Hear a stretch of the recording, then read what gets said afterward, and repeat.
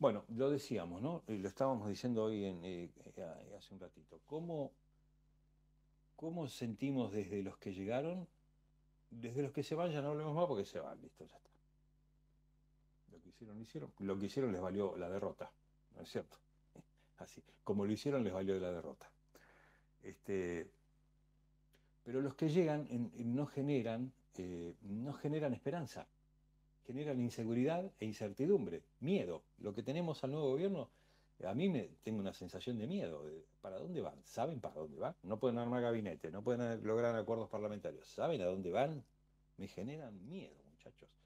Vamos a hablar de este miedo de fin de año, este miedo de cambio de gobierno, con Ricardo Antonowicz, que es psicólogo. Eh, Ricardo, Néstor Zula, buen día, ¿cómo le va? Buen día, Néstor. Este, un gusto, bueno, participar de, de este, estas reflexiones, ¿no? Tan importantes en este momento. Eh, no sé, Ricardo, si usted este, con, con, sus pacientes, si lo habla con sus amigos, bueno, este, el psicólogo a veces está todo el tiempo psicologiando. hable con quien hable, lo, lo la, ve cuando habla con un psicólogo, en la mirada del psicólogo ve, este, este me está analizando. Este, ya no, ya no, ya no, ya no. es, como un vicio, es, como, un vicio de la profesión. Eh, ¿Qué ve usted en, en, la mirada de la gente? ¿Ve miedo, ve incertidumbre? Yo no veo esperanza, este es el problema. Más o menos este eh, coincido en ese sentido porque, bueno, eh, las crisis, la crisis económica, la inflación, el estancamiento de los sueldos, ¿no? El temor al desempleo, eh, hay temores este, de afrontar gastos básicos en este momento, ¿no? Como en la vivienda, la comida, la educación. Bueno, todo esto genera un estado de inquietud y de sensibilidad, ¿no? Eh, hay un clima emocional que nos rodea que, que, bueno, está muy relacionado con el desamparo, la desesperación. Eh, son síntomas eh, bueno, que estamos viviendo en este momento, ¿no? Y sobre todo y fundamentalmente esa palabra este, incertidumbre creo que es la que corresponde, eh, bueno, para que podamos pensar en, en, qué vamos a buscar para salir de esta situación, ¿no? Claro, yo decía que viendo desde, desde los que están asumiendo este mensaje de búsquense otro trabajo, cómprense un grupo electrógeno, eh, ahora van a ver, se van a quedar sin trabajo, todos los empleados públicos, este, como, como que no importa, ¿no? Digamos, este, que, llegaron como, no sé si para vengarse o para disfrutar, o, digamos, hay un mensaje, yo no quiero, no sé, me niego a usar la palabra perverso, pero, pero hay, hay como un disfrute de anunciar un ajuste, digamos, yo estaría, eh, yo lo, anunciaría llorando el ajuste, digamos. Sí, bueno, esa palabra... Eh, no hay otra, muchachos, hay que hacer el ajuste, les pido perdón, qué sé yo. Esa palabra este, impacta mucho y, no queda claro no eh, qué es la palabra recesión. ¿no? Va a haber una recesión terrible. Eh, bueno, no queda claro qué, si no va a faltar alimento, vestimenta, si vamos a poder continuar con nuestra vida comúnmente, si vamos a poder comer, ¿no? Eh, esa palabra, bueno, también no es aclarada por ahora. Eh, mm. la gente de la política, la gente de la política no se va nunca. Siempre este, pierde una elección, pero siempre se queda, ¿no? Siempre está ahí con la oportunidad de renovar. Eh, bueno, el que se postula ahí, este, en algún momento, a lo mejor tengamos la suerte de que bueno, lo haga ubicarse ahí para realmente sentir que la necesidad que puede ayudar al pueblo, ¿no? Y, fundamentalmente redistribuir las riquezas, que eso para es lo cual este, está la política, ¿no? Ahora, pero ¿qué, ¿qué le diría usted a la gente que está viviendo esto con angustia, con poca esperanza, y en algún caso, si ve que la cosa viene contra él, con miedo. ¿Qué le diría? ¿Cómo, plantarse este, ante este fin de año? Generalmente las fiestas este, a veces son divertidas, pero a veces son melancólicas, hay ausentes, hay gente que estaba el año pasado y no está, digo, qué sé yo. generan cierta melancolía, si eso se suma a una incertidumbre del futuro. Digamos, ¿cómo, le diría usted que enfrente este tiempo a la gente, este tiempo de transición que, que, desde el poder este, lo pintan como tan dificultoso? También, toda la gente no es igual, en principio este, debemos aclarar eso, toda la gente no es igual. Eh, hay diferentes personas, hay gente que tiene bueno, que esto lo ayuda, eh, ¿no? que tiene coraje, vamos a decir, ¿no? Eh, para contrarrestar este peligro, esto hace renacer la fe, eh, y fundamentalmente yo diría que, que implementen en la medida que puedan salir de esta escena, que salgan de esta escena tan horrorosa como nos pintan y que cada uno empiece a hacer a formar su propia escena, ¿no? tiene que haber un sentimiento de cambio o que justamente este sentimiento de cambio es el sentimiento democrático. La gente fue a, a, votar para justamente que haya un, cambio, ¿no? Y le, diría a la gente que, empiece a, pensar que debe recomenzar, así como eh, tenemos la idea de que se acaba el año, que no se acaba nada, es todo lo mismo, pero bueno, en, hay, hay un clima de, de, celebración, vamos a decir, en donde también genera, genera que se, genera a veces malestar este, estas fiestas, todas estas celebraciones, ¿no? Porque eh, en la familia tampoco reina la felicidad, a veces es difícil coincidir con un lugar para pasar las fiestas, coincidir lo que vamos a comer, la gente, como bien dice, no, la gente que no está, la gente que por ahí no nos gusta que esté en esa fiesta y, concurre, bueno, genera también eso, un malestar, ¿no? Aunque a veces pequeño, pero bueno, estas fiestas también tienen ese eh, condimento, ¿no? Bueno, buscar, buscar eh, eh, o tener la idea de, de recomenzar, ¿no? Claro. Pero digo, este, lo voy a discutir.